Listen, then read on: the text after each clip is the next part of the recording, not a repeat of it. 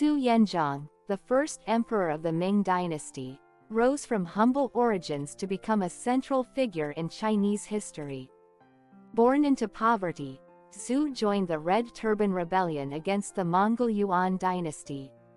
With his military prowess and strategic genius, Su emerged victorious, overthrowing the Yuan dynasty in 1368 and establishing the Ming dynasty. As the Hongwu emperor, he implemented significant reforms aimed at stabilizing the empire, including land redistribution and bureaucratic restructuring. Despite fostering stability and prosperity, Zhu's reign also saw periods of authoritarianism and repression. Nevertheless, his legacy as a unifier and reformer continues to shape Chinese history and culture, highlighting the enduring impact of his rule.